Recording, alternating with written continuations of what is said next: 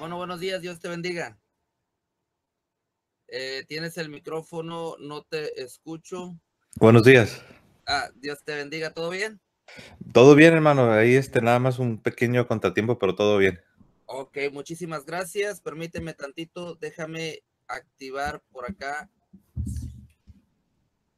Ok. Déjame chequear algo aquí rapidito para comenzar a transmitir.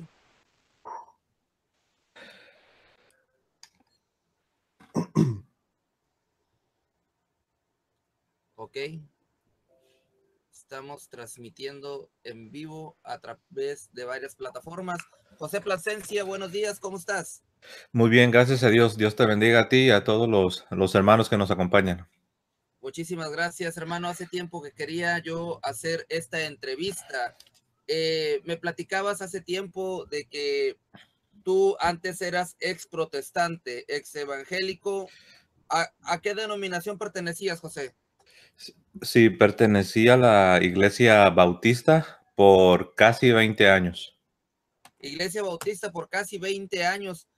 Y dime, ¿qué rol desempeñabas ahí? ¿Eras oveja? ¿Te considerabas pastor? ¿Qué hacías? Sí, no, pues empecé ah, simplemente, ¿no? Asistiendo a la, a la iglesia. Tuve una, una experiencia de conversión y ah, cuando me preguntaba, bueno, ¿a qué iglesia, a qué iglesia debo ir? Pues mi vecino, que era, era miembro de esta iglesia y que era, por cierto, era muy buen amigo, muy buena persona y también siempre me estaba hablando de Jesús, pues él me invitó a su iglesia, me invitó a su iglesia y sí, decidí acompañarlo y fui, pues miré que hablaban de la Biblia, hablaban de Jesús, eh, las personas se veían contentas, se veían buenas personas y pues sin, sin demasiada investigación decidí quedarme y simplemente un miembro asistiendo y ah, iba aprendiendo y ya pues conforme, como podrás imaginar, conforme fue avanzando el tiempo, este, poco a poco me fui involucrando en las actividades de la iglesia, en los diferentes ministerios que ellos tenían, desde voluntario en las actividades para ayudar con la labor uh, inclusive mantenimiento de las instalaciones. Uh, después fui ayudante de un maestro de escuela, uh, ellos le llaman escuela dominical, es una clase los domingos.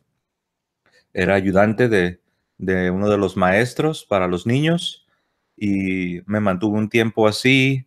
Después eh, me pidieron ser, ahora sí ya el, maestro en un futuro. Fui maestro de escuelita para niños y después para adolescentes. Uh, después este, estuve, también me empecé a involucrar un poco más ya en, en actividades de evangelismo. Uh, y, y, este, bueno, no sé si quieres que siga, porque si sigo a lo mejor me voy a adelantar al testimonio o no, no sé, pero... Es que te quería preguntar, cuando esa persona, cuando ese amigo te invitó a la iglesia, ¿te dijo uh -huh. él que no era una iglesia católica? ¿Él fue claro contigo? Sí, de hecho, como, como era mi vecino, yo ya, este, yo ya sabía que, que, que él no era católico. Incluso él ya me había invitado a su iglesia. Eh, recuerdo que cuando yo tenía aproximadamente 10 años, que cuando recién su familia empezó a asistir a esta iglesia, uh, pues sí, la verdad sí tuvieron un cambio. Se había un cambio en esta familia para, para bien. Este, y él también se miraba contento. Se, se, también nosotros, los niños de la colonia, notamos un cambio en él. Notamos que, que sí, en verdad, eh, algo bueno le estaba pasando, ¿no? ¿Qué edad tenías y, tú, José Plasencia, en ese tiempo? Eh, ahí yo tenía 10 años. Tenía 10 años y me invitó y asistí un par de ocasiones y pues como niño me gustaba, aplaudían y se miraban contentos. Ah, sí, o sea, se me hizo así como que, oh, está suave esa, tú sabes, independientemente de que sabemos que Uh, en cuanto a la fe, pues uh, están, están en, en, ciertos errores, están, están afuera de la iglesia, ¿no? Pero humanamente, pues dije, oh, este, se mira bien aquí, se, se, ve suave y pues... ¿A qué, edad, uh, ¿A qué edad decidiste salirte de ahí? Bueno, tenía 10 años, solamente era así como que el, el amiguito que, que, él invitaba, pues solamente fui un par de ocasiones. Después este, ya no continué, ya no continué asistiendo, pero yo ya sabía que, que mi amigo pues era, era evangélico, eh, eh, era, De hecho, era Pentecostés. Y este, en ese tiempo era Pentecostés. Es que ya después, cuando tuve yo mi conversión y que empiezo a ir ya a los, a los, es que no quiero confundirlos, ¿no? Cuando yo tengo mi conversión es a los 19, pero ya desde los 10. Esa era la pregunta. Cuando tú te acercaste, que tuviste tu primer encuentro con ellos, los hermanos evangélicos, tenías 10 años. Sí, eh, de niño, ¿no? Sin saber mucho. Sin saber de la fe, sin saber, pero ya, ¿tu familia era católica? Sí, crecí en un hogar católico y recibí los... ¿Tu primera comunión? Sí, sí, sí, recibí todos los sacramentos de iniciación. ¿Y consideras que te faltó adoctrinamiento de parte de tu familia? Eh, sí, eh, yo diría... no, no hay ningún problema, es lo mismo. No, de hecho, este, sí, mi familia sí trataban de, de hacer, hacer lo posible por inculcarme bien la fe. E, incluso mi papá, eh, del lado de mi papá, viene él de una familia este, muy católica, muy, muy este, tradicional de, de allá del centro de México. De hecho, tengo, para darte una idea, un hermano de mi papá es este sacerdote, creo que ya como 50 años, y a él le tocó eh, cantar el, salmo responsorial cuando el Papa Benedicto XVI visitó México y cuando tuvo la misa en, en, León, Guanajuato, creo que si no me equivoco fue en León, Guanajuato, en México, este, mi tío fue el que cantó el salmo este, en la misa del Papa Benedicto XVI. Entonces, del lado de mi papá sí, son eh, muy católicos, este, de mi mamá también católica, pero tal vez no tanto, no tan fuerte como mi papá. Entonces, dices que comenzaste a los 10 años, tuviste tu primer encuentro, fuiste un par de veces, te gustó, tu familia pues era católica, pero ya no, ya decidiste ya no seguir yendo. Volví, regresaste hasta que tenías 18, 19 años.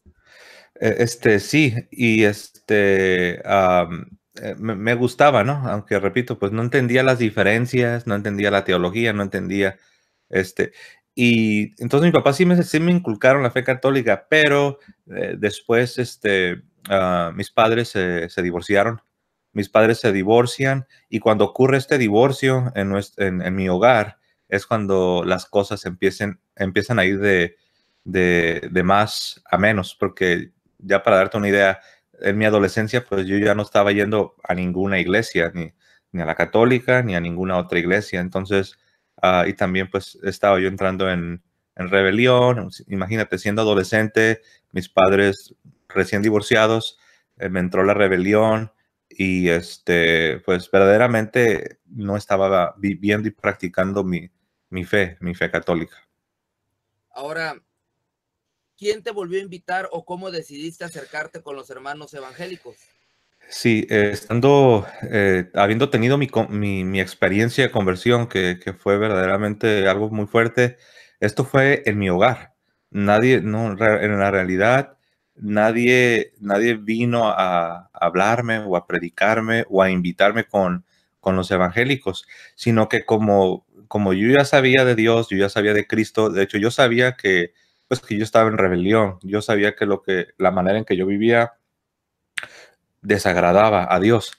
Y también tengo que agregar que durante este tiempo de rebelión, en mi adolescencia, antes de tener esta experiencia de conversión que les hablo, que fue a los 19, el mismo vecino que te estoy hablando, el vecino que me había invitado a los 10 años a su, a su iglesia, él siempre me estaba, uh, me, siempre me, me hablaba. Ah, eh, te digo, él es un buen chico, él pues desgraciadamente está, eh, está fuera de la iglesia, pero es un buen chico y siempre me hablaba de Jesús, que Jesús murió por mí, que yo necesitaba entregarle mi vida a Dios. Incluso, este hermano Javier, a los 16 años, otra vez él me volvió a invitar a su, a su iglesia, me volvió a invitar y volví a aceptar la invitación. Como que dentro de mí sabía que yo necesitaba ayuda, que yo necesitaba a Dios y volví a aceptar la invitación. Incluso, hermano Javier, estuve, estuve unos meses, estuve yo asistiendo con él. No había tenido la conversión como, la conversión como me sucede a los 19, pero eh, yo estaba con él y yo más que nada iba porque él lo que hizo, lo que él hizo, perdón, invitó como a cuatro amigos de ahí, de ahí del barrio, de ahí de la colonia, nos, nos invitó y íbamos en bolita, íbamos en bola. Entonces, pues nos animábamos los unos a los otros y entre la bola, ahí va el hermano José Plasencia y pues vamos, ¿no? Y pues sí, pues me acuerdo que pues pues imagínate unos adolescentes y, empezábamos a aplaudir y nos reíamos de todo, y, ah, pero, pero yo creo que sí ahí hubo semillas, porque cuando hablaban de Jesús, ya cuando llegaba lo serio, pues sí, ya como que me quedaba pensando y, y pues tú sabes, en el ambiente, o no sé si conoces mucho, pero en el ambiente pentecostés ponen mucho énfasis en que tenga, en que invites a Jesús y que y le entregues tu vida a Jesús, aunque pues sabemos que ya de ahí no avanzan mucho. De hecho, muchos pentecostés dicen, ok, ya recibí a Jesús, ¿no? Pero ¿y ahora qué sigue, no? Porque ellos no son, no son muy fuertes en, en, en, en, la teología y todo eso. Pero sí, sí, sí, sí, sí me quedaba pensando, no, pues yo sé que sí, sí necesito, necesito entregarme a Dios, necesito entregarme a Jesucristo. Eso fue a los 16, pero después de, después de unos meses, este, Javier, pues eh, otra vez, no, no, no, eh, la rebelión eh, me, atrajo el mundo, el mundo de pecado, y ya, le di la espalda, ya, ya no quise ir a la iglesia y empecé a andar otra vez en, rebelión, quizás hasta más fuerte, y eso entonces de, los 16 a los 19 empecé a vivir un, periodo de mi vida muy difícil, muy, muy caótico, este, ah, de fiestero, no, no, no siendo una persona responsable y este, pues en rebelión y todo el tiempo yo sabía que yo estaba mal. Lo sabía porque crecí católico, lo sabía porque este hermano pentecostés me invitó a su iglesia y, ahí yo escuchaba y yo cada vez que yo escuchaba yo sabía que yo estaba mal y que yo necesitaba entregarme a Dios. Entonces, ¿en qué momento, como tú dices, a los 19, tocaste fondo y dijiste, ¿sabes qué? Yo necesito buscar a Dios. Sí, fue algo que eh, cuando yo empiezo a entrar en más rebelión, este, yo todo el tiempo, yo sabía, cuando di la espalda a, Dios y, a, todo lo que tuviera que ver con iglesia, cuando yo le doy la espalda a esto, hermano Javier, yo sabía 100% que yo estaba obrando mal. Pero de todas maneras decidí en mi rebelión, en mi orgullo, en mi pecado, decidí hacerlo dije, no, pues voy a ir a experimentar el mundo y las fiestas y eh, soy muy joven, tengo 16 años, pues, pues, eh, y yo miraba que algunos, algunas personas daban testimonios, pues ya eran personas grandes y contaban una vida, pues, una vida disoluta, ¿no? Una vida de pecado y dicen, pero ya me arrepentí. Y yo decía, ah, bueno, pues, si ellos, si ellos así le hicieron, Dice, sí, pues a lo mejor yo también puedo un poquito, ¿no? Este, pero fíjate cómo es uno de adolescente, ¿no? Y dice, no, pues yo también así le voy a hacer más o menos. Entonces, este, pero sabes que arrepentida me llevé. Como, no sé, como que sí les dijo, ok, ¿quieres, quieres este, aferrarte a tu, a tu rebelión? como que me soltó un poco de cuerda y pues empecé a andar como mencioné de fiestero y pues ah, dejé la escuela, la, la, escuela la dejé. Em, en mis trabajos no duraba mucho, ah, eh, no, era, no era el mejor hijo del mundo, no era el mejor hermano del mundo. Em, no sé cómo explicarlo, me hice... Ah, es que cuando rechazas, cuando rechazas a Dios, cuando Dios te, te hace un llamado y tú sabes que Dios te está llamando y lo rechazas, es como estás rechazando la luz y al mismo tiempo, al mismo tiempo, sin darte cuenta, eh, estás dando entrada a más tinieblas a tu vida. Y yo creo que eso sí ocurrió conmigo, hermano Javier, porque yo puedo dar testimonio ahora de que me hice duro, me hice, cambié. De hecho, las personas ah, me decían, estás, estás cambiando para mal, no para bien. Eh, y como dices, eh, sí hubo un momento donde de lo mal que andaba, eh, fue en mi hogar, hermano Javier, estaba yo en mi hogar y recuerdo en mi cuarto, andaba mal, la verdad, mal espiritualmente, emocionalmente, todavía con las heridas de, de, lo que te comenté del divorcio que ocurrió y mi rebelión y todo eso, los problemas que había. Y estando en mi, en mi, en mi cuarto, uh, sintiéndome muy mal, espiritualmente, emocionalmente, eh, psicológicamente, físicamente, hermano Javier, por, por, la, por la vida que estaba llevando. Ah, de repente, no, yo ya me sentía muy, pero muy, pero muy mal. Ah, y estaba en el cuarto, me quedé dormido. Cuando abro mis ojos, ya era de noche, ya era en la tarde. Eh, y me acuerdo que me levanto y sintiéndome miserable y voy al espejo y, empiezo a contemplar mi rostro. Y cuando me estoy viendo a mí mismo en el, en el, espejo, cuando veo mi rostro, ahí no sé, no sé cómo explicarlo. Tuve, Dios me dio un momento de gracia, no sé cómo decirlo, hermano Javier. Me vi al espejo y al verme al espejo, no solo vi mi, mi, mi rostro demacrado, sino vi mi miseria. Vi como que me vi a mí mismo de la, desde la perspectiva de Dios y vi mi miseria, vi mi necesidad, como que vi mi alma en necesidad. Y como que si me hubiera pasado de repente toda mi vida en un instante por la mente. Y al final de este instante, hermano Javier, me vino a la mente Jesucristo. Necesitas a Jesucristo en tu vida. Entonces fue algo muy fuerte. No escuché voces, no vi rayos, no cayó nada del cielo, pero fue algo muy fuerte adentro de mí. Entonces la siguiente pregunta era, bueno, ya, ¿qué hago? Entonces me salgo de la casa, hermano Javier, y digo, pues, ¿a dónde voy? ¿Con quién voy?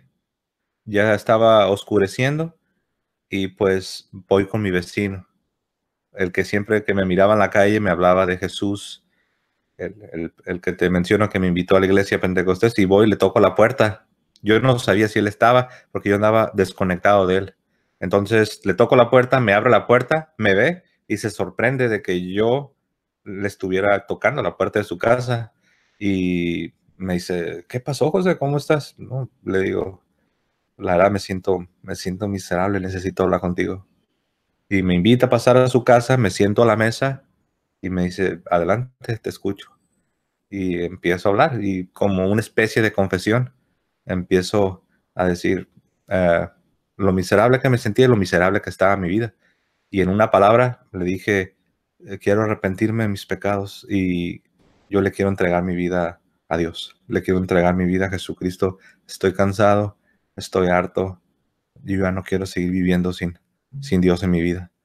Y me acuerdo que se quedó así y me dijo, bueno, yo creo, José, que tú ya sabes lo que necesitas hacer. Me dijo, porque ahí donde estás sentado, ¿por qué no empiezas a orar?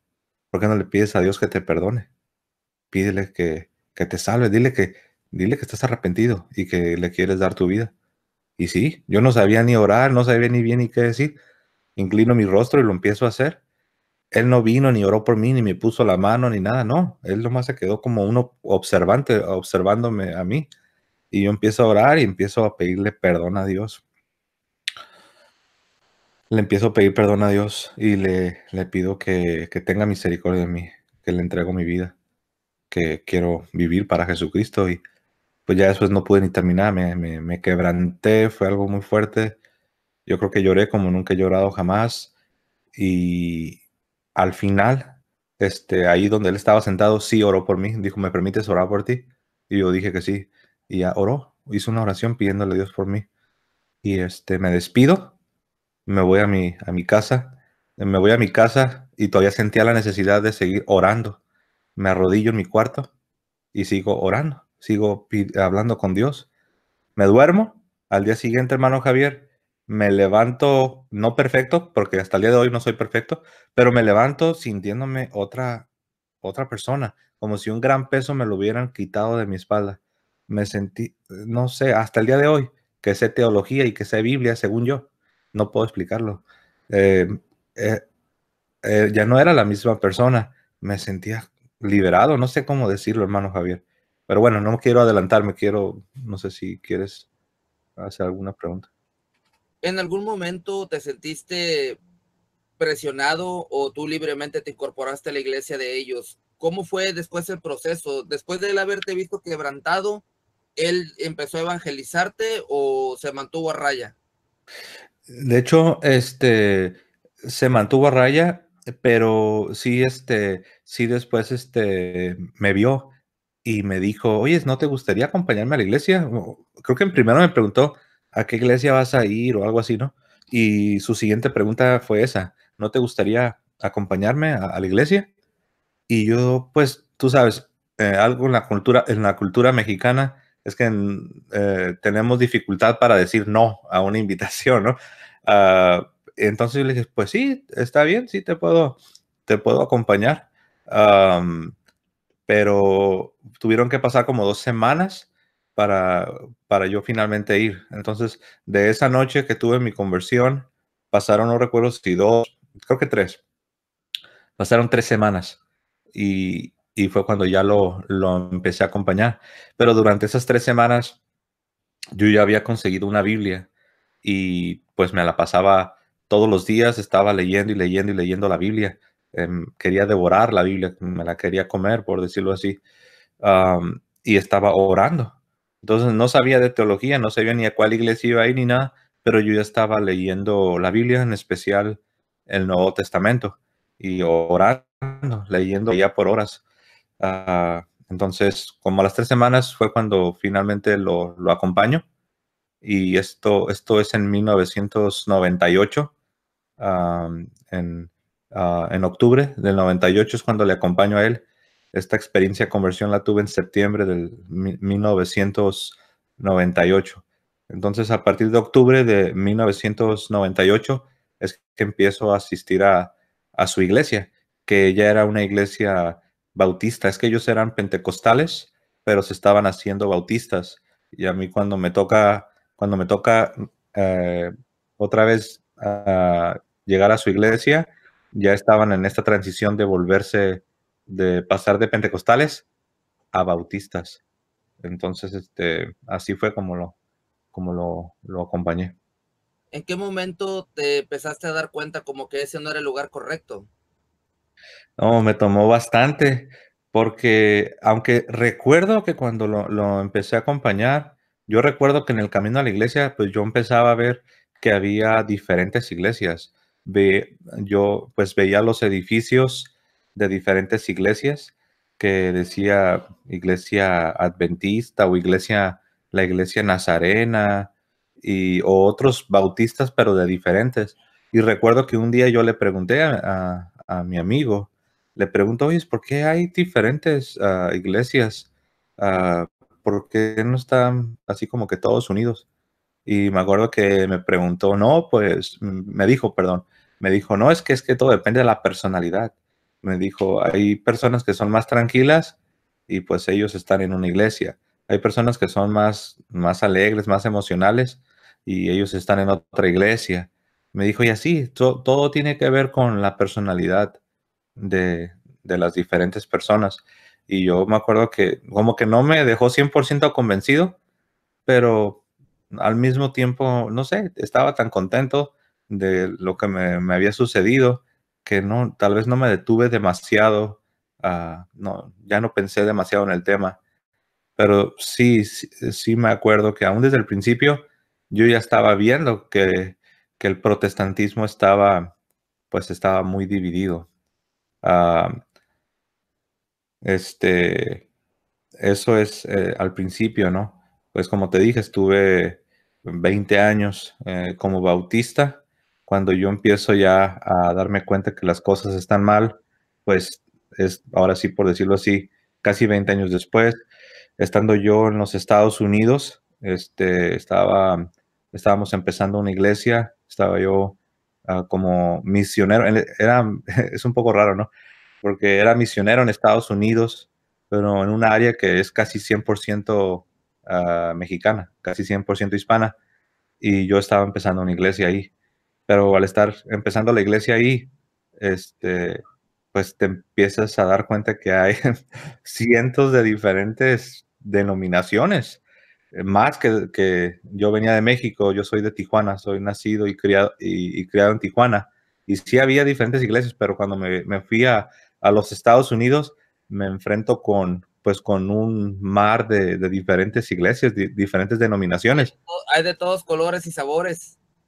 Sí, entonces se, eh, se vuelve más fuerte esta realidad del protestantismo en división. Entonces, eso me empezó a, a, a otra vez a preguntarme, pues, ¿cómo está aquí, no? Y em, pues empecé a, comparar.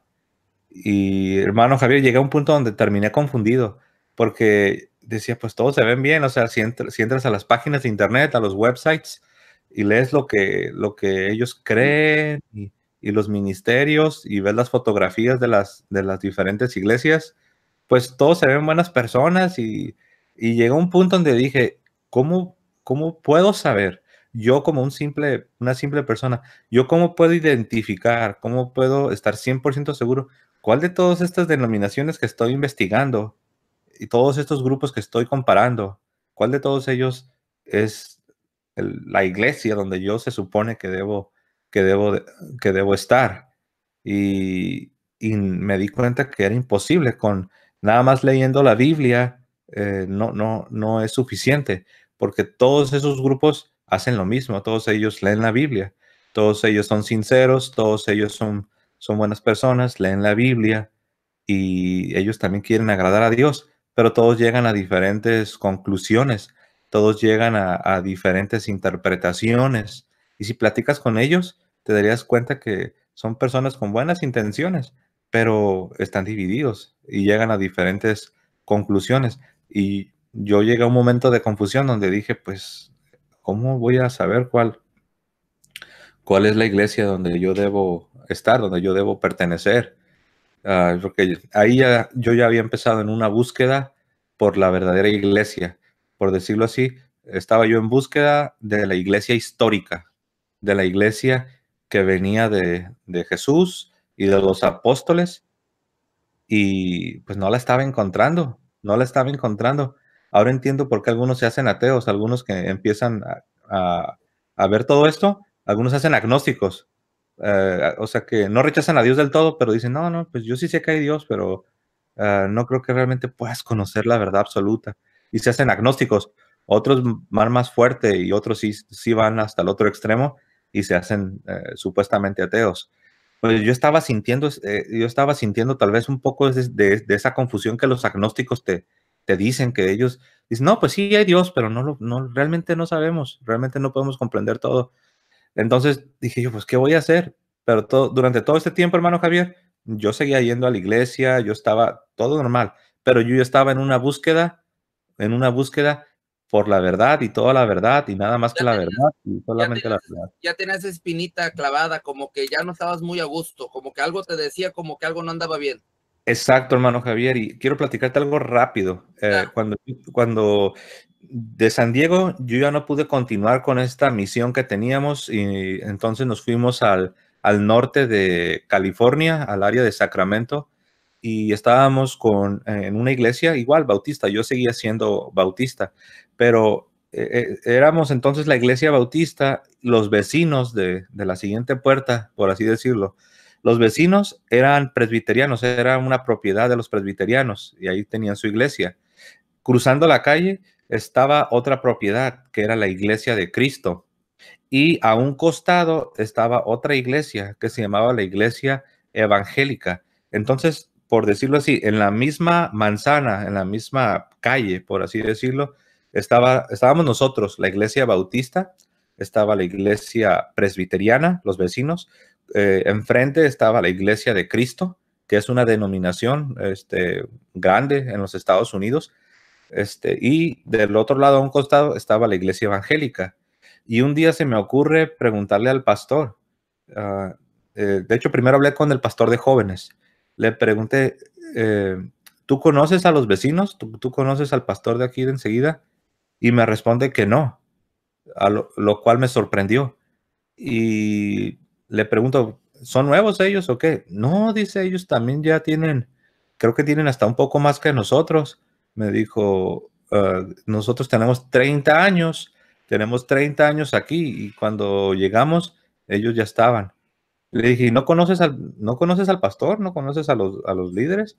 No, dice, no, no, los conozco. Entonces eso me dejó, pues dije, algo, algo no está bien aquí. ¿Cómo que somos cristianos y ni siquiera, ni siquiera los conoces, ni siquiera nunca les hablas? Y después eh, digo, bueno, pues voy a preguntarle al pastor, ahora sí al pastor. Y le hago la misma pregunta al pastor y, me responde lo mismo.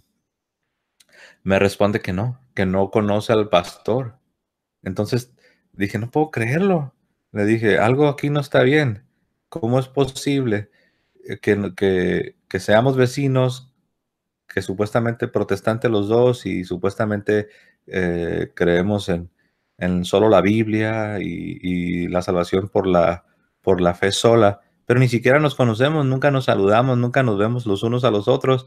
Yo nomás veía que sus carros entraban y se bajaban las personas con sus Biblias en el brazo y nosotros hacíamos lo mismo. Y ya después cada quien se iba por su camino, pero nunca nos hablábamos, era como si no existiéramos. Era como que si al lado de nosotros no hubiera una iglesia, no hubiera cristianos.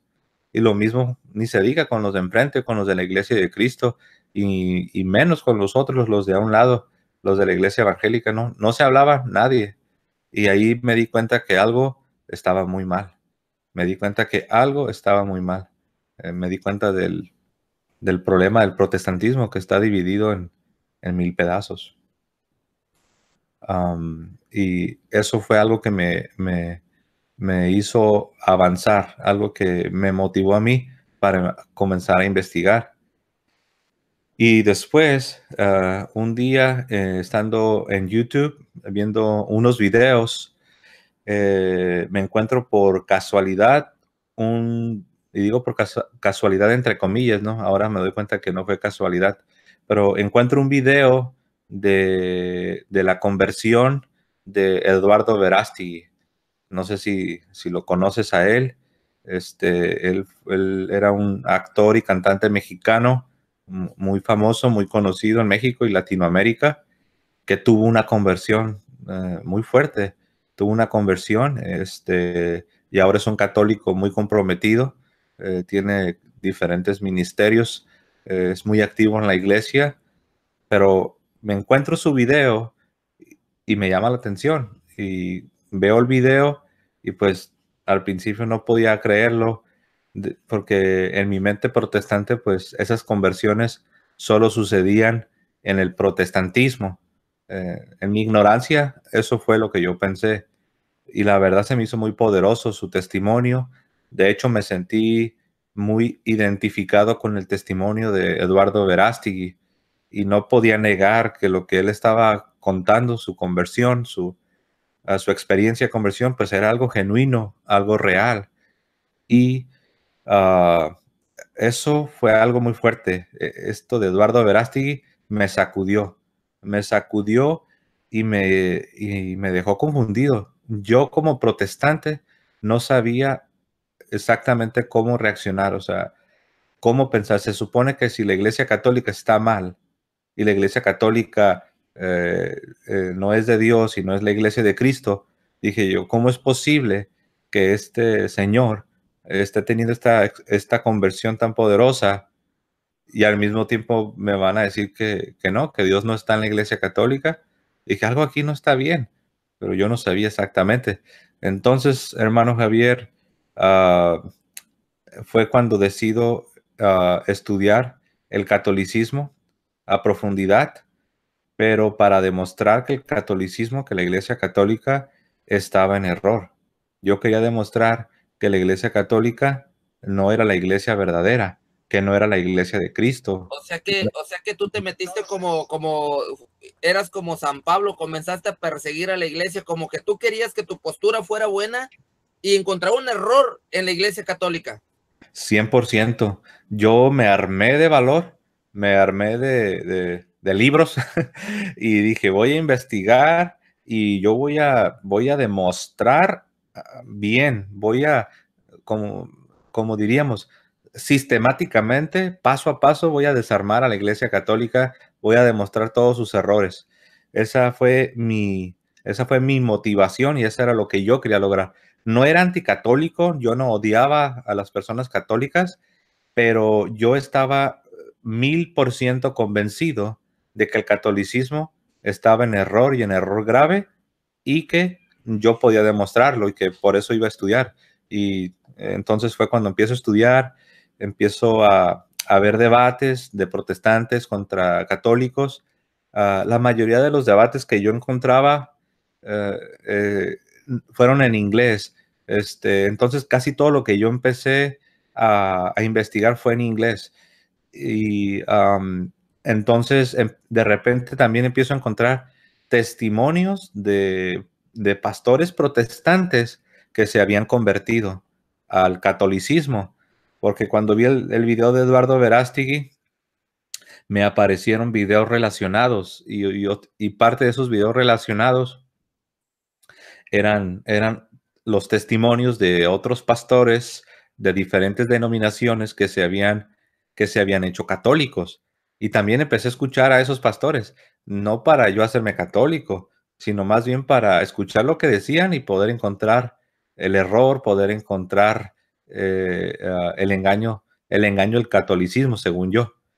Eh, pero pues empecé a escucharlos, pero al mismo tiempo no, yo, yo decía, no, yo soy protestante y voy a demostrar que ser protestante es lo correcto, ser protestante es lo verdadero y voy a, voy a llegar al fondo de este asunto, voy a estudiar, me voy a preparar bien y voy a comprobar que la Iglesia Católica está mal.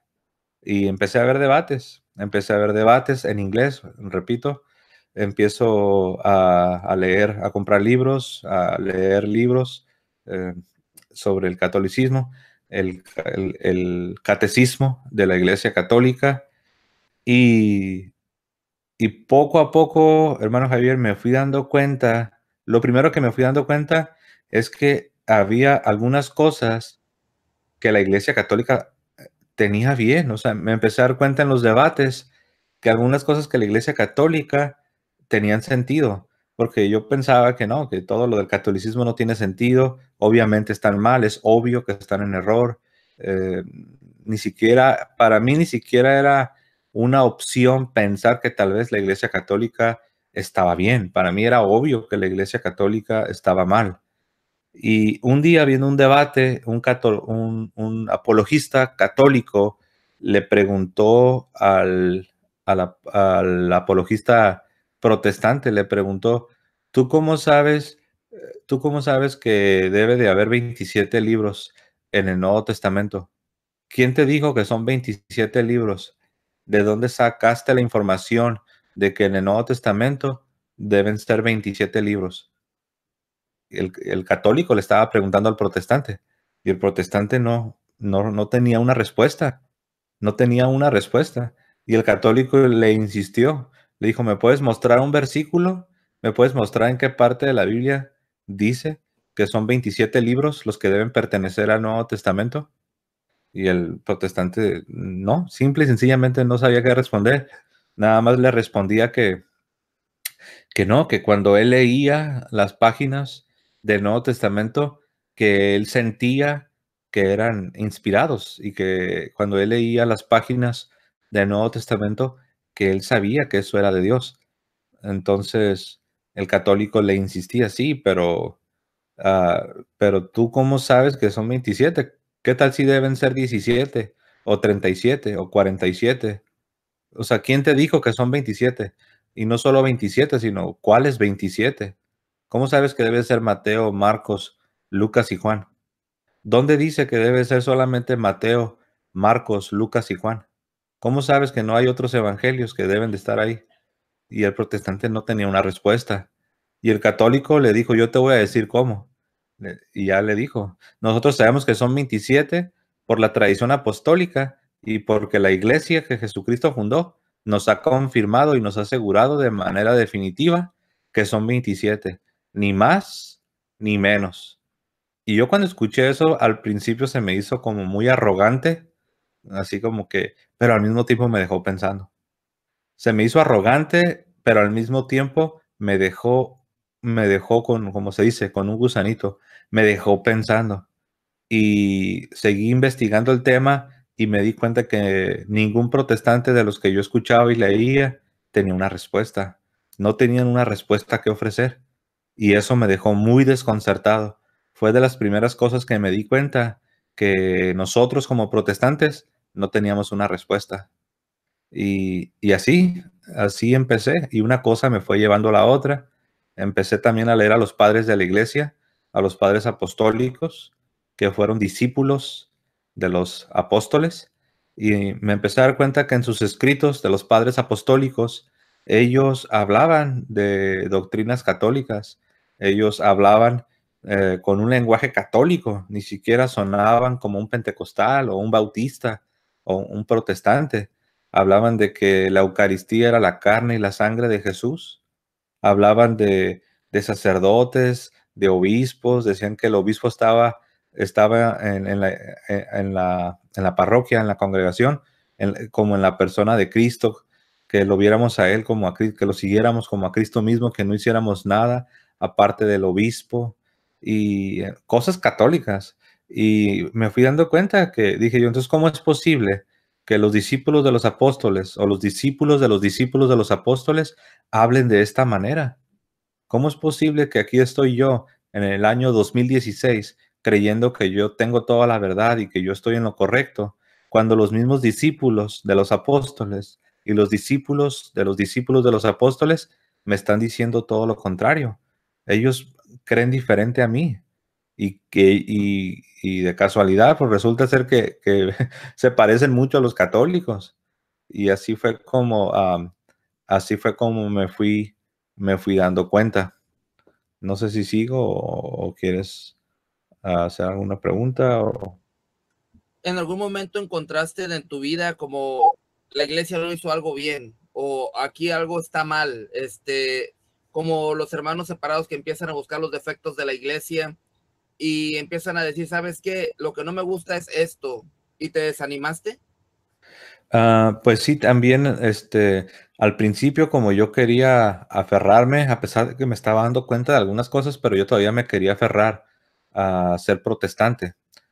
Eh, y yo pues sí, empecé a darme cuenta también de, de las cosas malas. Cuando uno no quiere ser católico, lo primero que le viene a la mente son las cosas malas de la Iglesia Católica. Y yo recuerdo que, que yo decía, no, pero yo me acuerdo que hubo, que hubo, que hubo un escándalo muy grande con, con un sacerdote mexicano. No sé si lo conoces, se llamó, él se llamaba uh, Marcial Maciel. Es el fundador de los legionarios de Cristo. Y él fue un hombre, pues, que vivió una, una vida doble, una doble vida, donde estaba viviendo una vida de pecado y al mismo tiempo él pretendía ser un, ser un, hombre santo de Dios, pero después eh, se le comprobaron muchas cosas malas o cosas horribles, ¿no? Que cualquier católico se siente, muy mal al, al, saber de eso. Pero yo como protestante de ahí me agarraba, ¿no? Decía, pues mira, ¿cómo va a ser esto de Dios? Mira, mira este señor a este señor abusador. Mira las cosas que hizo, el dinero que robó y cómo estafaba a las personas. Entonces, sí, como que esas cosas me servían, me servían de excusa para mantenerme protestante. Y, pero también me fui dando cuenta que el trigo y la cizaña crecen juntos. Me empecé a, bueno, la Biblia dice que, que no debes arrancar la cizaña del campo del trigo, que es la iglesia no la debes arrancar, sino que Jesús dijo, deja que la cizaña crezca juntamente con el trigo. Y en el día del juicio se va a hacer una separación. ese es el problema del puritanismo. En el mundo protestante hay mucho puritanismo, que cuando ven que una iglesia o una denominación se está, se está corrompiendo, que el pecado está entrando, ellos lo que hacen es que se separan inmediatamente y por eso se crean grupos nuevos constantemente, siempre se están autorreciclando, siempre se están autorreproduciendo y siempre es por lo mismo, porque quieren separar el trigo de la cizaña antes de tiempo. Y sí, pues mm, sí miraba todas esas cosas, pero yo llegué a un punto, hermano Javier, donde me di cuenta que este no era un asunto de que si hay pecado o no hay pecado en la iglesia católica, porque yo sabía que lo mismo había en mi, en mi denominación. Lo mismo había en todas las denominaciones protestantes. Eh, sí. Ese es un punto bien importante porque muchas veces ellos, a cuántos no hemos escuchado que dicen, yo no tengo pecado. O ellos dicen, es que en la iglesia católica hay violadores, acá no los hay. no, eso es falso. Eso es falso. De hecho, hay una página que se llama Violadores Bautistas. La iglesia, la denominación bautista, si no me equivoco, es la denominación en los Estados Unidos que tiene en proporción, en porcentajes, es la que tiene el más alto nivel de, abusadores. de las denominaciones en los Estados Unidos. Te digo tanto que hay una página de internet, eh, no es en español, es en inglés, que se llama, se traduciría como bautistas violadores o bautistas depredadores bautistas. Punto, no sé si sea punto com, donde entras y tienen ahí toda la lista de todos los pastores bautistas que han. ¿Y por qué eso no sale a la luz? ¿Por qué eso no lo exponen? ¿Por qué entre eh, ellos no se atacan? Porque no les conviene y del lado de los noticieros, eh, a ellos sí sacan cuando de repente pastores este, evangélicos o protestantes hacen sus maldades, pero no tanto. Eh, lo que más le encanta al mundo secular es atacar a la iglesia católica. Eh, de la iglesia católica, olvídate, en cuanto salga algo rápido, ellos lo van a explotar, lo van a, van a reproducir la noticia una y otra vez hasta el cansancio. Pero este, no, en cuanto a los mismos protestantes, no, pues no. Eh, lo quieren mantener oculto, pero para ser justos, como ya lo sabemos, hermano Javier, pues aún en la Iglesia Católica, ciertos obispos, ciertos jerarcas también han, estuvieron manteniendo cosas ocultas. O sea que eh, la naturaleza humana eh, es así, seas, seas católico o seas protestante. pero desde otro lado, este mundo odia a la Iglesia Católica. Mira, los protestantes están en contra de la Iglesia Católica. Los ateos atacan a la Iglesia Católica. Los gobiernos han oprimido a la Iglesia Católica. La Iglesia Católica, yo me empecé a dar cuenta, siendo protestante, me empecé a dar cuenta, hermano Javier, que la Iglesia Católica era atacada por todas partes. Y yo era protestante y yo no quería ser católico, pero yo ya me empezaba a dar cuenta, oye, yo decía, a la Iglesia Católica la traen por todas partes. Yo escuchaba a los ateos atacar a la Iglesia Católica y luego escuchaba a, unos pastores que les llaman fundamentalistas, que son bien radicales, que son protestantes, los escuchaba y yo decía, pues suena, suena igual. Si escuchas, si escuchas el discurso de los ateos y el discurso de los fundamentalistas contra la Iglesia Católica, eh, haz de cuenta que es la misma retórica, es, es el mismo discurso. y sí me llamaba la atención. Yo decía, si la Iglesia Católica es del diablo, si la Iglesia Católica no es de Dios, ¿por qué todo el mundo la ataca? ¿Por qué todo el mundo está en contra de ella? Y eso me llamaba la atención. ¿Y cómo, qué tan importante fue la formación? El, el ¿Qué tan importante, qué, qué, papel jugó el dudar para poder encontrar? Dudas para encontrar, dudas para formarte. ¿Qué tan importante fue el que tuvieras esas dudas, cuestionar la fe para buscar la formación? Tal vez ahí es donde entra el papel de la razón la Iglesia Católica enseña que, hay, hay, dos alas, el ala de la fe y el ala de la razón, y con esas dos alas te puedes elevar. Dice que el espíritu del hombre se eleva con las dos alas, las dos alas, la de la fe y la razón. Entonces, en el protestantismo, ah, este asunto de la razón no es algo muy popular, eh, porque tienen lo de lo que le llaman la sola escritura, solo la Biblia. Entonces, este asunto de la razón, la historia, la lógica, eh, no es así como que muy popular que digamos. Yo pienso que lo que me empezó a suceder es que yo empecé a usar más la razón. Empecé como que uh, me salí de mi burbuja. yo estaba en una en mi burbuja, pero de repente empecé a abrir más los ojos y me empecé a dar cuenta de que yo no podía continuar siendo un protestante e ignorando que había miles y miles de denominaciones protestantes y pretender que todo estaba bien. Porque yo me justificaba diciendo, pues yo decía, yo soy honesto, yo sé que mi, que, que mi experiencia de conversión fue real, yo amo a Dios, amo a Jesús, amo la Biblia y estoy en mi comunidad y yo sirvo, pues todo lo demás, eh, eso es suficiente. Relativismo. Sí, porque yo estaba yo había decidido cerrar mis ojos ante mucho de la realidad, los, las miles y miles de denominaciones, las, las contradicciones.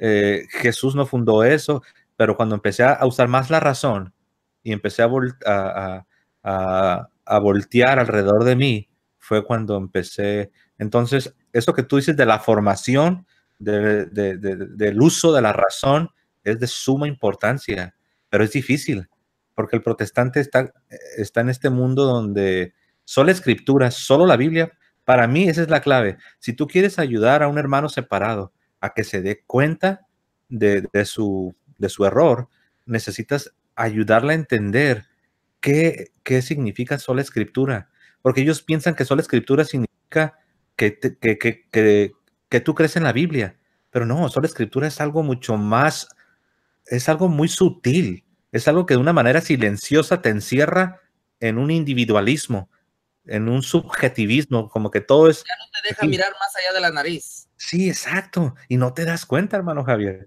No te das cuenta hasta que alguien llega con un alfiler y te rompe la burbuja. Y te empieza a decir que no solo la Biblia, también está la tradición oral y escrita, el magisterio de la iglesia. Y empieza a decir, wow, ¿y, cómo es esto? Choca. Sí, sí, exacto. Al principio lo vas a rechazar, pero te vas a quedar pensando y vas a decir, a ver, ¿cómo está este asunto? Y así, así empecé yo también.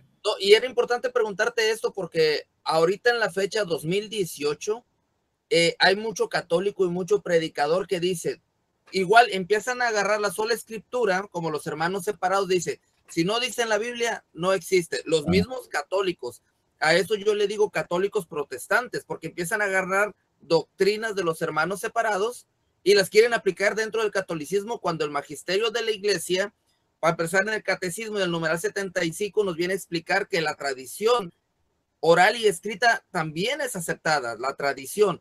Entonces, muchas veces por la gente ignora eso. Por eso te preguntaba, cuando te empezaste a cuestionar, cuando empezaste a mirar todos los problemas, ¿era factor importante que tuvieras dudas para buscar respuestas?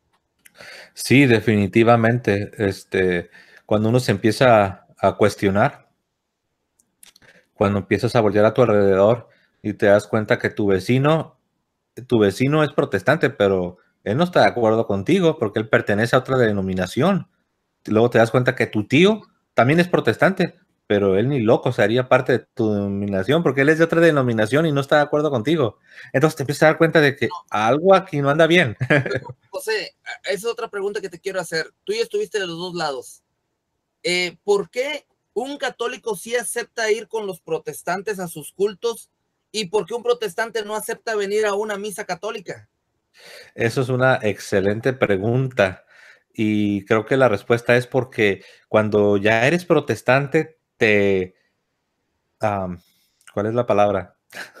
te engatusan, te hacen, eh, te hacen pensar que si tú te vas a otro grupo, aunque no te vayas a la católica, pero si te vas a otro grupo, estás siendo desleal y ya no te, te estás saliendo de la sana doctrina, te, te, infunden un temor a que tú debes permanecer en ese pequeño grupo donde te encuentras.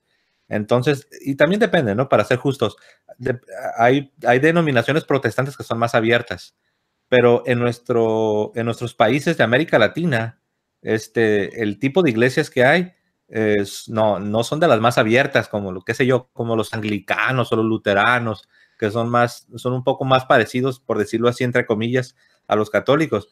No, en nuestros países de América Latina, eh, las iglesias, no sé, bautistas, pentecostales, no denominacionales, no, esas sí te quieren, ahí te quieren. Y si te brincas, por ejemplo, si eres pentecostal y te brincas a los bautistas, ellos te van a hacer sentir lo mismo. Ellos, o sea, también estarías mal si te haces de otra denominación te, hago esta pregunta. Digamos, el católico promedio, el mal formado, el que va solo los domingos, y un hermano evangélico eh, protestante, también de los que andan más o menos. Tienen más doctrina el hermano que anda también más o menos tambaleando en el protestantismo que un católico, porque fíjate bien, la otra vez me estaba diciendo una persona, pero pasa lo mismo, católicos se van a protestantes y protestantes se vienen al catolicismo pero yo creo que las cifras no son así. Yo me atreví a decir que de un 100%, un 60% se va al protestantismo y más sin embargo un 1% o un 2% viene al catolicismo.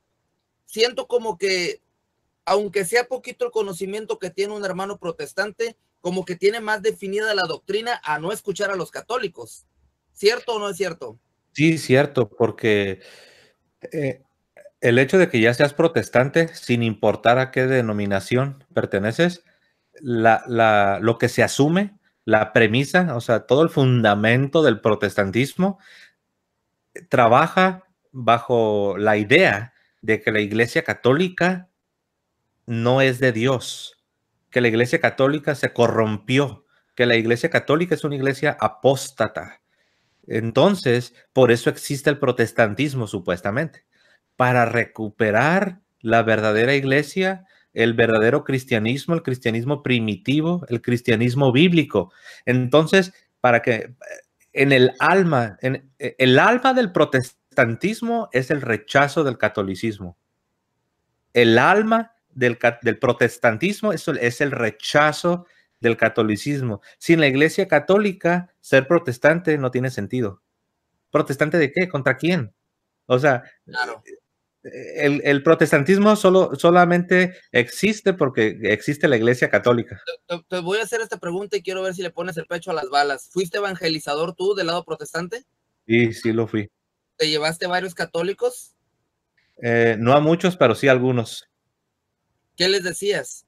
¿Cómo, ¿Cómo te presentabas con ellos? ¿Les decías, hola, ¿qué tal? Soy protestante, hola, ¿qué tal? Eh, ¿Pertenezco a tal iglesia? ¿O nomás les decías, vengo a hablarles de Jesucristo? Mi, yo fíjate, yo en lo personal, yo no tenía la idea de que tendrían que ser igualitos que yo como bautista que yo era, pero mi deseo, mi, el motor que me movía es que las personas que no iban a ninguna iglesia, que tristemente muchos de los católicos que yo me encontraba decían que eran católicos, pero, yo, pero nunca iban a la iglesia. ¿y tú vas a la iglesia? No, no voy. Entonces yo decía, ah, pues entonces tú puedes ir conmigo.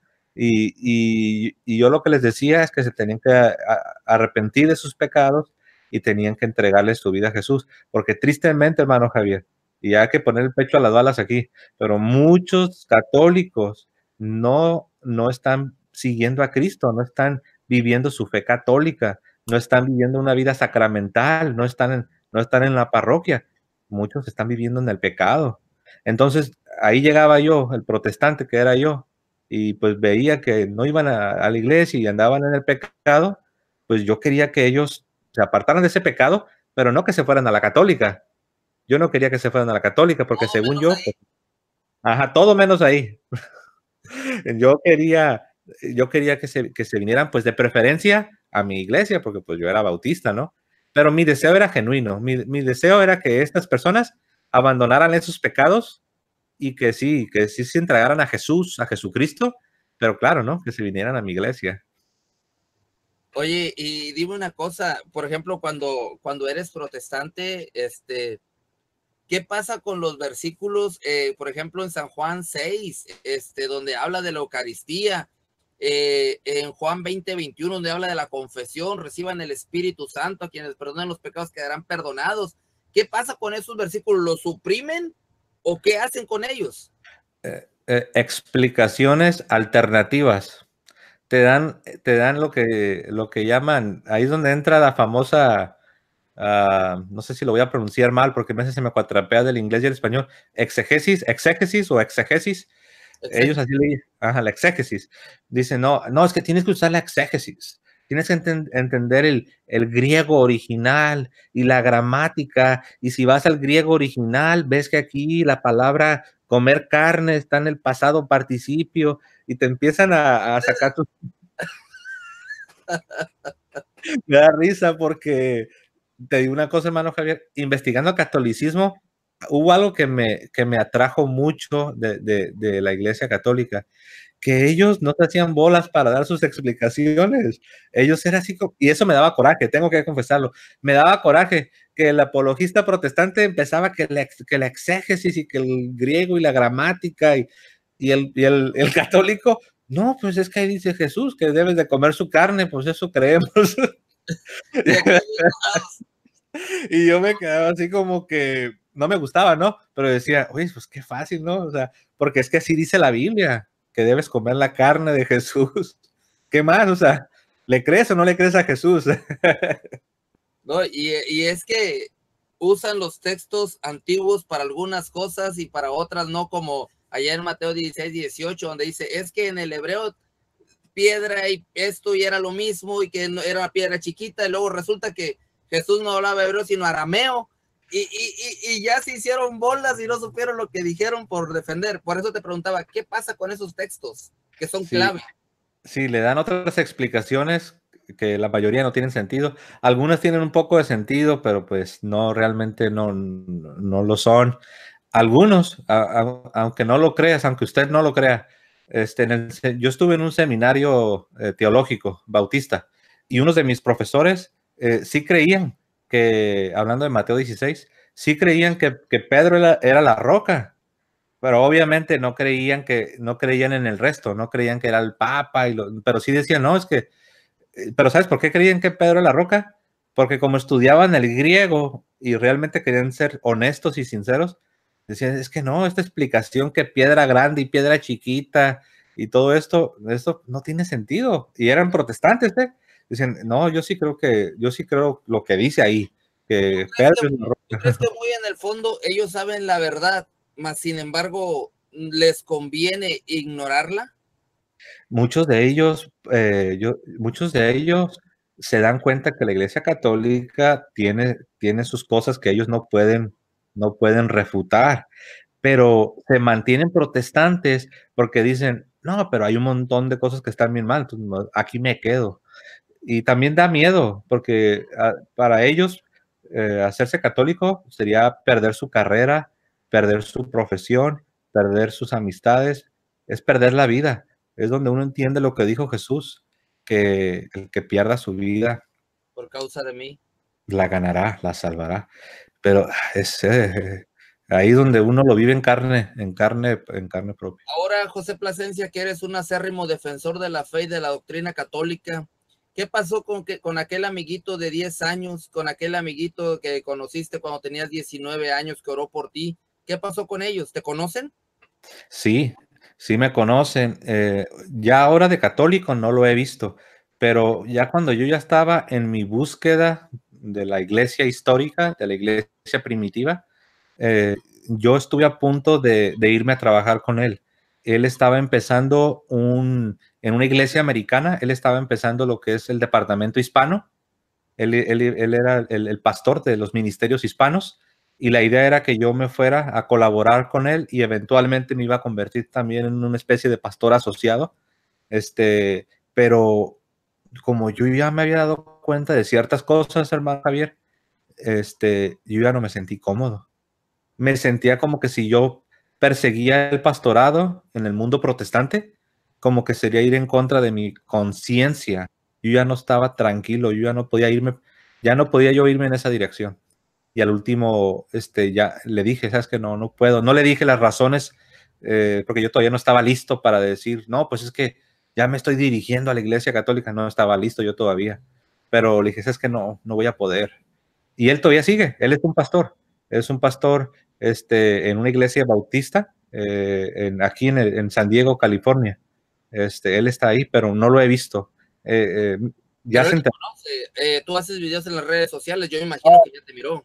Sí, porque su, él tiene un hermano que este hermano me empezó a, pues, como que me empezó a atacar un poco, me, haciéndome comentarios negativos. ¿En el Facebook o, en sí, el... Sí, en el Facebook me empezó a decir que por qué estoy defendiendo una religión y, y, ya después se abrió un poco más y me dijo que la iglesia católica estaba mal, que no sé qué. Y yo le respondí y como que no le gustó mucho que le respondí. Le respondí con amor, con respeto, pero con firmeza y con verdad. Y no le gustó mucho y me dijo, no, pues entonces ya te voy a quitar de mis amigos. Y le dije, le, dije, ah, está bien, le dije. Ya no eran hermanos entonces. Sí, yo le dije, pues mira, le dije, la mitad de mis amigos son protestantes y yo no los voy a quitar de mis amigos. Mientras ellas, ellos sean respetuosos, este, ellos seguirán ahí, ellos ahí seguirán como mis amigos. Y dijo, si tú me quieres expulsar de tu grupo, pues está bien. Y sí, sí, me, me, me sacó. Y, entonces, por eso es que yo sé que su hermano ya se enteró que, sí, que ya soy católico. ¿Qué pasaría si un día eh, te lo encuentras en la calle? Eh, yo sé que ahorita si platicamos probablemente no toquen ningún tema doctrinal, pero si continúan conviviendo va a llegar el momento en el que se va a tener que exponer la fe y la doctrina de cada uno. Se va a tocar tarde o temprano, es una bomba de tiempo. ¿Lo harías? Sí, si él me, si, si me lo encuentro, como dices tú, obviamente nos daría, estoy seguro que nos daría gusto vernos. Eh, nos conocemos desde la niñez. Eh, yo le tengo mucho aprecio, le tengo mucho cariño a él porque él me hablaba de Jesús y siempre me, siempre me trataba de, ayudar. le tengo, este, le tengo mucho cariño, la verdad. Pero sí, como yo ya soy católico, pues sé que cuando él empieza a hacer preguntas, pues le voy a tener que dar respuestas y pues para ser sincero, no estoy seguro cómo, no sé cómo reaccionaría él. No sé si simplemente va a decir, no, pues está bien, este, eh, no estoy de acuerdo contigo, pero bueno, seguimos siendo amigos. O no sé si va a decir, ah, no, ya eres un apóstata. Creo que lo primero, creo que lo primero, me inclino a pensar, me inclino a pensar por lo primero. Pienso que va a decir, no estoy de acuerdo contigo, creo que estás mal, pero te sigo amando y, este, y, te sigo apreciando. Te quiero preguntar, ¿qué es la técnica para ir a hablarle a los católicos? Llegan y se presentan como que llegan y se presentan descaradamente, hola, ¿qué tal? Soy bautista, vengo a exponerle la palabra de Dios, o vienen ustedes y dicen, mire, vengo a explicarle la palabra de Dios o vengo a hablarle de Dios. Este, bueno, en el caso mío, en la iglesia donde yo estaba, eran las dos. Sí les decíamos que éramos bautistas, les decíamos hasta el nombre de la iglesia y acto seguido les decíamos que, que sí, que también veníamos a hablarles de la palabra de Dios. Y para ser honesto, para ser transparente, este, como lo que uno quiere es que, vayan a la iglesia de uno, uno sí se enfoca, ya no se enfoca tanto en, denominación, uno ya se enfoca más, no, eso se trata de, Dios, de una relación personal con Jesús, que, que, sí es cierto, ¿no? Pero al final del día lo que uno quiere es que ellos vayan, vayan a, nuestro, a nuestra iglesia, a nuestro grupo, pero uno no se los va a decir así directamente. ¿Al no le tocas todo temas doctrinales o sí? Al principio no. No, no, al principio uno, por ejemplo, uno les pregunta, ok, este, tú sabes que eres un pecador, ¿verdad? No, no, pues que sí. Si tú mueres, nosotros decíamos, si tú mueres hoy, este, ¿cuál, cuál va a ser el destino de tu alma? Y ya se quedaban pensando, y como la mayoría no iban, no iban a la iglesia, decían, no, pues no, pues no sé. O unos decían, no, pues el infierno. Y yo les decía, ¿no te gustaría más bien que tu alma no fuera al infierno, sino que no te gustaría que cuando llegue el final de tu vida poder ir a la presencia de Dios. No, pues sí, sí, sí me gustaría. Le digo, ¿me permites que te pueda explicar con, la Biblia? Si te fijas, todo esto no son cosas malas. No, no, no, no, claro que no. Eso, no son cosas malas. Pero ya cuando tampoco, él me... prende, tampoco prende el foco de alerta en un católico. No, porque él le estás hablando de Dios. Ajá. de Dios, sí. De Dios y la Biblia y Jesús. Entonces, eso, entonces, pero por ejemplo, si él me parara en seco y me pregunta, oye, pero ¿a cuál iglesia me vas a llevar? O, o, qué? Pues, eh, eh, yo sí le voy a decir, no, pues sí te tienes que venir conmigo, no te vas a ir a la cancha. no te, a la no, te, voy a, te voy a llevar yo a la mía. y, y, y es que siempre hay un trasfondo, es que Fíjate, yo siempre en mis videos siempre le digo a los católicos, a pueblo católico que tenga cuidado, porque siempre hay un trasfondo detrás de un mensaje hay muchos, hay muchos predicadores eh, de nuestros hermanos separados que te dan un mensajito muy bonito, un mensajito que probablemente te, tú dices, es de Dios, es muy bueno, ¿qué tiene de malo? Pero aquí el problema es lo que él piensa y la intención con lo que hizo ese video, que es hacer proselitismo, pescar en, el río revuelto.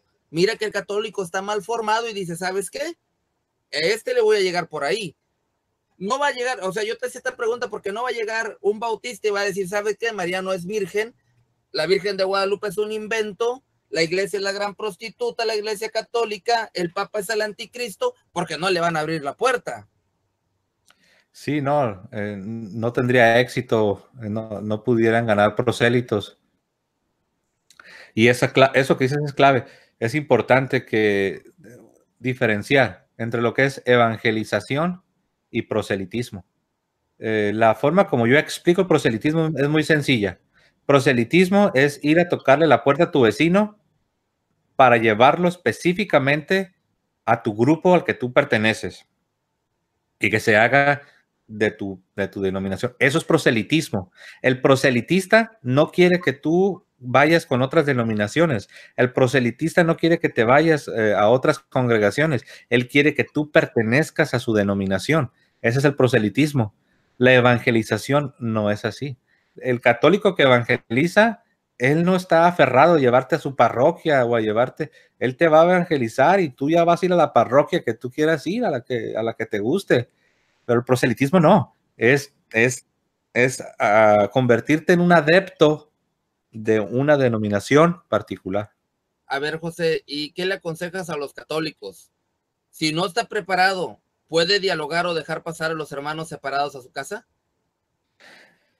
Bueno, si quieren terminar siendo protestantes, sí, que los dejen, que los dejen pasar. Ah, ahora, yo, yo la verdad, yo diría, mira, si eres católico, uh, hermano, hermana, si, si, usted es un hermano católico, si usted es católica, yo quiero decirle que, que usted tiene un tesoro. Usted tiene un tesoro hermoso. La fe católica cuando se conoce, cuando se explora, cuando se contempla, eh, uno se da cuenta que es algo hermoso. Verdaderamente lo digo, es algo hermoso. Tristemente, muchos católicos este, y me incluyo, yo era uno, muchos católicos no nos damos cuenta de lo que tenemos. Y, estoy hablando de la fe católica, no estoy hablando de los malos miembros de la iglesia católica, no estoy hablando de los sacerdotes malos, no estoy hablando de, las cosas que algunos han cometido, estoy hablando de la fe católica, estoy hablando del cuerpo de Cristo, Estoy hablando de esta maravilla que Jesús ha fundado. Sobre esta roca edificaré mi iglesia mi cuerpo, donde voy a depositar todo, todo lo que soy, todo lo que es el reino de Dios. La fe católica es algo hermoso. Si usted es católico y es católica, usted, usted necesita primero conocer su fe. Conozca primero su fe. Enamórese de su fe. Vaya, si en su parroquia no hay grupos, no hay enseñanza, no, busque otra parroquia.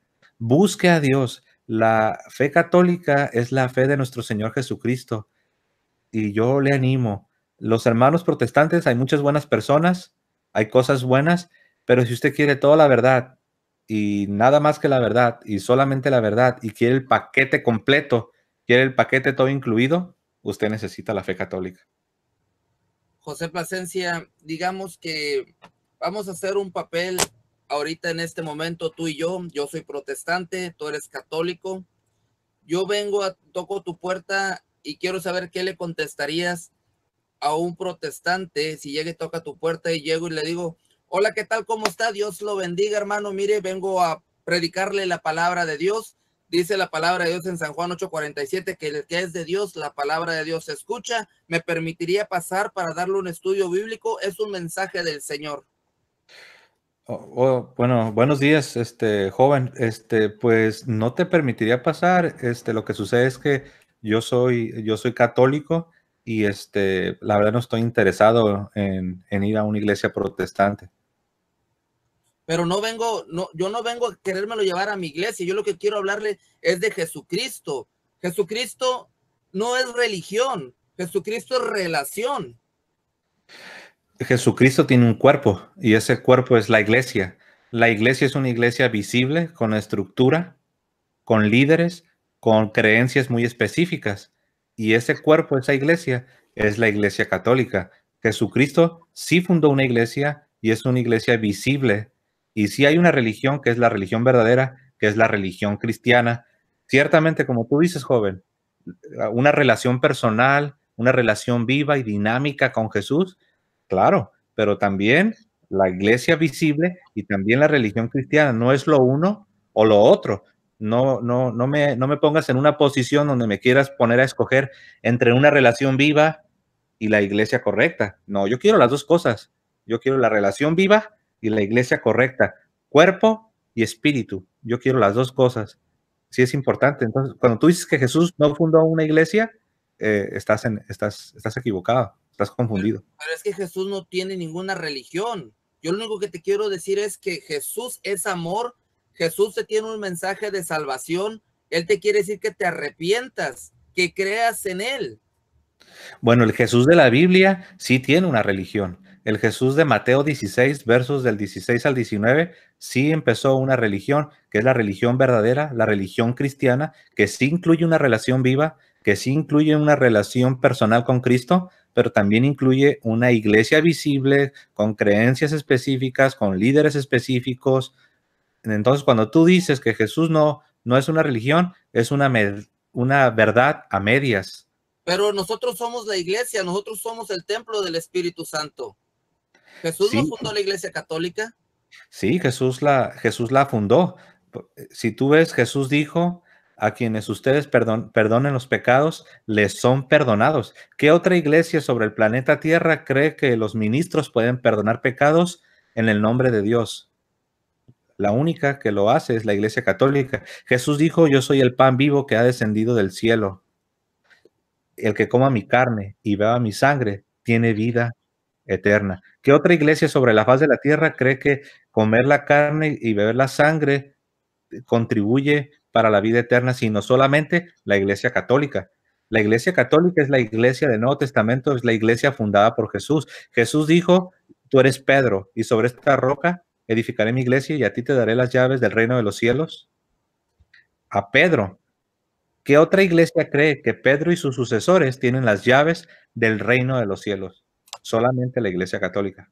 Pero hermano, ¿por qué no me deja entrar? Mire, le voy a leer un, versículo de la Biblia que dice, Hebreos 3:7, escuchemos lo que dice el Espíritu Santo. Ojalá y escuchen hoy la voz del Señor, no endurezcan su corazón. Yo vengo a traerle una palabra del Señor, no endurezca su corazón, déjeme pasar. Sí, no, y no lo endurezco. Este, Dios me libre de endurecer mi corazón, pero la voz del Señor siempre nos tiene que llevar a su iglesia. Y es por eso que yo quiero hablar contigo. Si quieres pasar y sentarte, es para que yo te pueda compartir el por qué es importante que tú estés en la iglesia que, Jesucristo ha fundado. ¿Estarías tú dispuesto a aceptar esta invitación? ¿Estarías dispuesto a que yo te explique a ti acerca de tu necesidad de pertenecer a la iglesia de Cristo, porque se ve que eres bien sincero. Yo puedo ver que eres una persona sincera, puedo ver tu celo, puedo ver tu, eh, tu deseo de, ayudar a otros, pero estás honestamente, eres honesto, pero estás honestamente equivocado. Y yo quiero ayudarte. ¿Me permites que te comparta? ¿Me permites que te muestre con la Biblia cómo la iglesia católica es la iglesia del Nuevo Testamento? Sí, pero no con su Biblia, porque su Biblia tiene más libros que la mía. ¿Puedo usar la tuya? ¿Cuál tienes? ¿La Reina Valera? La Reina Valera 1960. Con la Reina Valera, aunque debo decirte que la Reina Valera tiene cambios. Por ejemplo, en la Reina Valera, en primera los Corintios 11.2 y en segunda los Tesalonicenses 2.15, le borraron la palabra tradición, que se refiere a la tradición apostólica. Dice enseñanza. No, eh, sí, bueno, se puede traducir como enseñanza o como instrucción, pero la palabra griega es paradosis, que se refiere a la tradición, pero no cualquier tradición, no la tradición de los hombres, no, se refiere a la tradición que procede de los apóstoles. Esa es la tradición apostólica. Entonces, ¿no me dejaría pasar? Eh, solo con una condición, que vayas a escuchar lo que yo tengo que decirte a ti acerca de la Iglesia Católica. Pero es que yo vengo a evangelizarlo a usted. Pues llegaste tarde, porque ya estoy evangelizado, ya estoy en la Iglesia Católica. No, entonces, en resumen, no, no es bueno que los dejen pasar. No, no, no, no, no, este, no es bueno, al menos que tú les vayas a, predicar, al menos que tú los vayas a terminar de evangelizar. pero, ellos no permiten, ¿verdad? Que tú les expliques. Este. No generalmente no, pero si ya Dios está obrando en alguno de esos corazones, te va a escuchar. Porque, mira, eh, es, esta conversación así eh, la tuve con un hermano aquí, un vecino. Este, le vinieron a traer una atalaya los hermanos testigos de Jehová. Bueno, pues no nos consideran hermanos, pero eh, me miró la persona porque estaba tocando la puerta. Mi vecino no estaba y me trajo una atalaya y, le dije yo, oiga, disculpe, este, ¿le puedo ayudar en algo? Y me dijo, oh, le traje este librito, dijo aquí a la señora de aquí. Y le dije, ah, ok. Y me dijo, pero mira, atenta, lo regalo. Le dije, no, muchísimas gracias. Y, me dijo, mira, este, es de la, tiene muchos pasajes de la Biblia bonitos, no crees que es cualquier cosa. Y ya le, dije yo, no, muchísimas gracias, yo soy católico. No, no, no, pero mira, esto es bueno. Y me, me abrió la, lo abrió y me dijo, mira lo que dice aquí. Y le dije, mire, para empezar, pues lo que pasa es que la información que viene ahí a lo mejor no está correcta, no está completa. La Biblia que ustedes tienen tiene 66 libros. Le digo, entonces puede ser que no. Entonces luego, luego, inmediatamente se dio la vuelta y dijo, ¿sabes qué? Ya me voy porque tú lo que quieres es hacer polémica. Y le dije, no, no, no, no, claro que no. Le dijo, yo vengo a predicar. Le dije, pues hoy le, le iba a predicar un católico, pero no, como que no vienen muy dispuestos a escuchar a un católico. Ellos vienen dispuestos a que los escuchen. Por eso te decía yo, es difícil. Sí, eh, tienes razón. Por lo general no quieren. Un testigo de Jehová hace poco pasó por aquí y quería que le abriera la puerta. Le dije que le dije, primero le dije que estaba ocupado. Me dijo, ándele, mire, nada más le quiero dar este libro. Le dije, es que no puedo, no se lo puedo aceptar. Me dice, ¿por qué, oiga? Y no le quería decir, pero bueno, me insistió. Le dije, mire, es que usted viene de un grupo fundado por Carlos Russell en el siglo XIX. Él era protestante y después él inventó su propia religión. Y eso es lo que, eso es lo que es los testigos de Jehová. Este, como en, como en dos minutos le dije un montón de, le resumí toda la historia de los testigos de Jehová en dos minutos, le dije más cosas y nomás se me quedó viendo así, dice, ah, ok, y como que lo dejé pensando y se fue. Ya, eh, ya nomás le dije el origen de su grupo y se fue.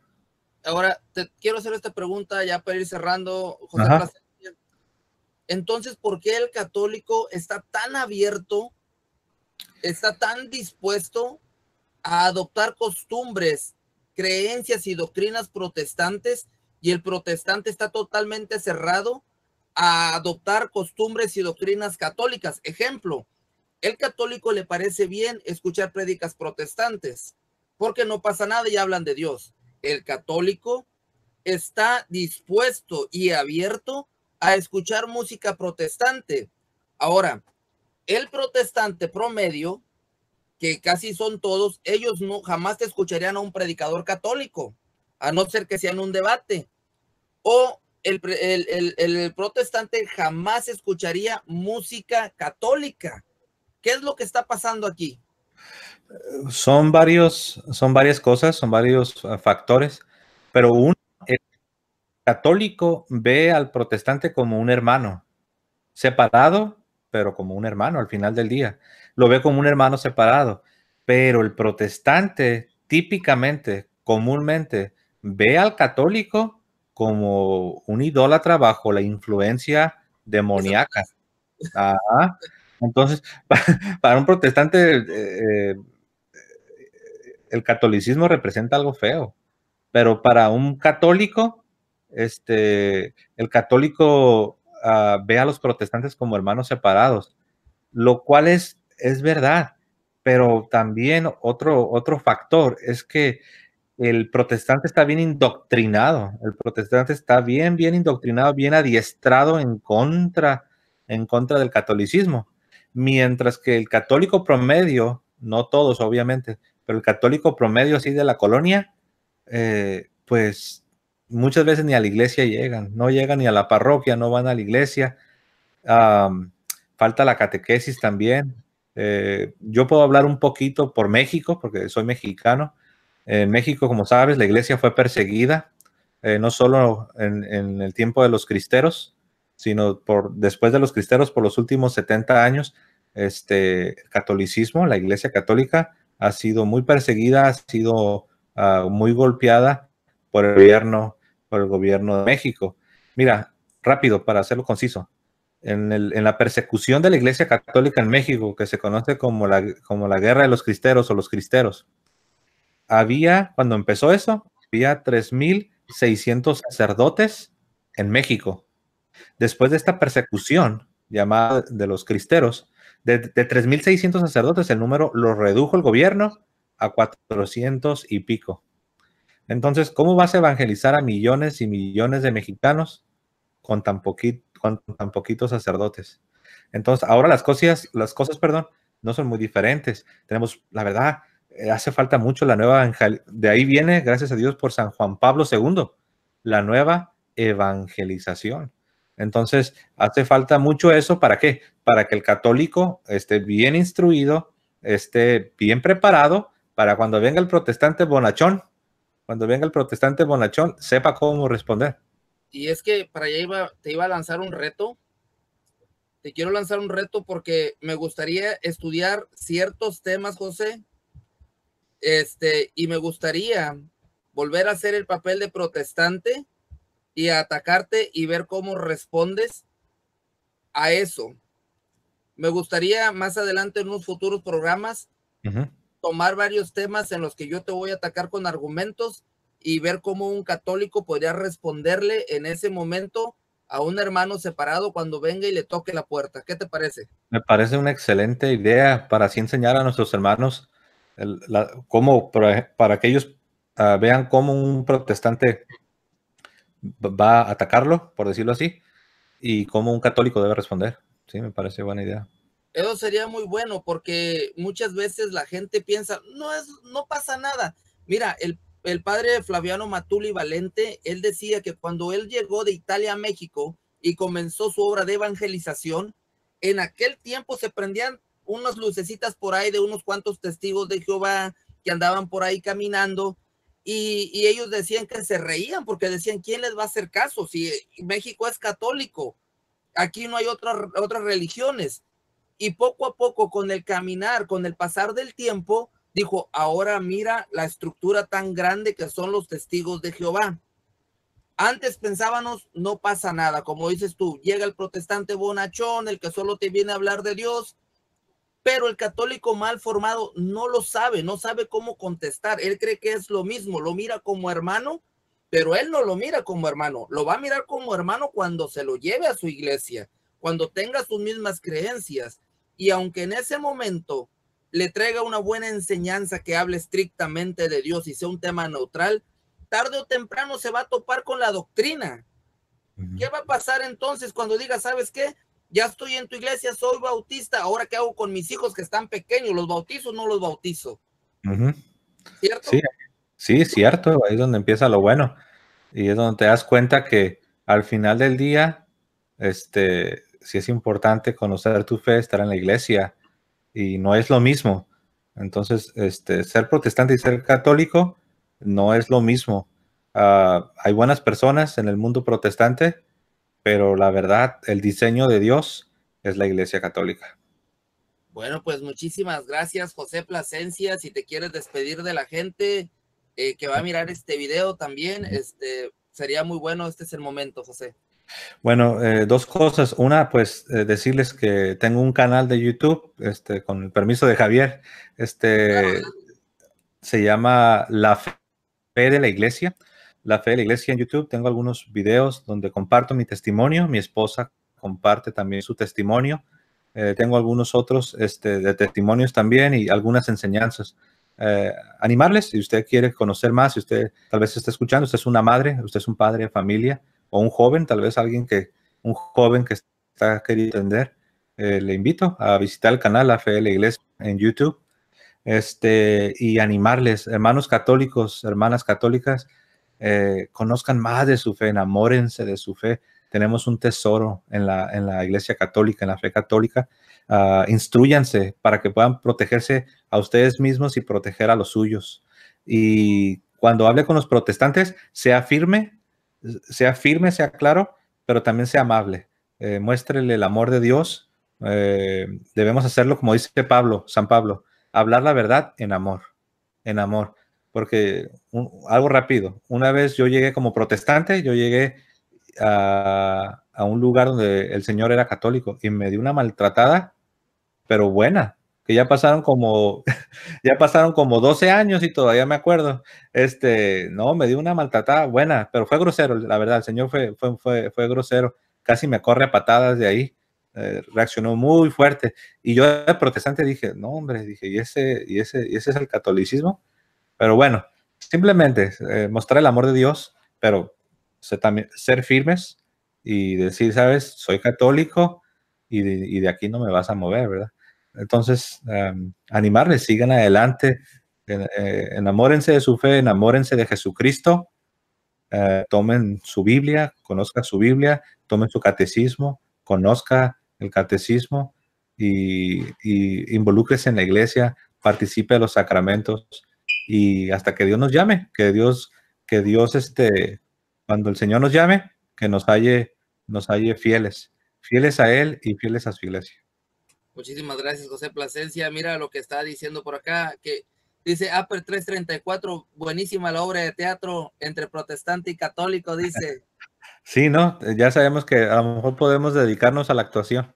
Dice, dice también por aquí, él contestaría así, dice Mayra Villa, porque conoce, pero alguien que no conoce su fe, pero se considera católico, ¿cómo puede contestar para que no lo confundan? Sí, ahí es donde entra ya la responsabilidad que tenemos de instruirnos, Este, como por ejemplo, yo ahorita le contesté al hermano Javier así, pero cuando yo era protestante yo no sabía cómo contestar así, pero empecé a estudiar la fe católica, a ver videos, el catecismo, la Sagrada Escritura, escuchar a los sacerdotes y instrucción, instrucción, instrucción, oración, oración, oración. Dice eh, Cedro Robles Mayra Villa, por eso tenemos que conocer. Saludos. Y por acá dice Armando García Ramírez, hacer simulacros es muy buena idea. Eh, también Mayra Villa dice, qué maravillosa entrevista para la gloria de Dios. Él se manifiesta. Fue tan ameno escucharlos. Ojalá y sigan con lo del proyecto. Y por acá Cedro Robles dice, Javier, José, los quiero mucho. Eh, por allá también había una hermana que estaba diciendo, ya no recuerdo que estaba diciendo que gracias a tus enseñanzas ella hace el rosario. Este, entonces, es, esto es bien importante. Mira, eh, cuando yo voy a predicar a una parroquia, eh, yo no me fijo si hay mucha gente o hay poquita gente. Si hay muchos espectadores, hay poquitos espectadores. Lo que importa es que un alma haya sido tocada. Lo que importa es que alguien tenga la conversión y sepa que en esta lucha no está solo que habemos muchos católicos estudiando, esforzándonos, dejándonos llevar por el Espíritu Santo para adquirir conocimiento y que ya no tenemos que volver a buscar nada, que el Espíritu Santo todo le ha revelado a su iglesia, aquella iglesia de 1 Timoteo 3:15 que es pilar y fundamento de la verdad. Nosotros solo tenemos que seguir el camino.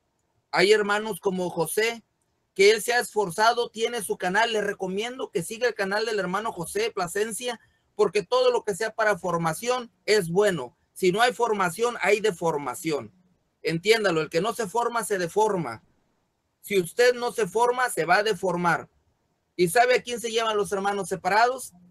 Con todo respeto, a los que creen que no pasa nada. A los que dicen, yo soy fuerte, a mí no me pasa nada si platico con ellos, a mí no me pasa si escucho prédicas protestantes, a mí no me pasa nada si voy al culto.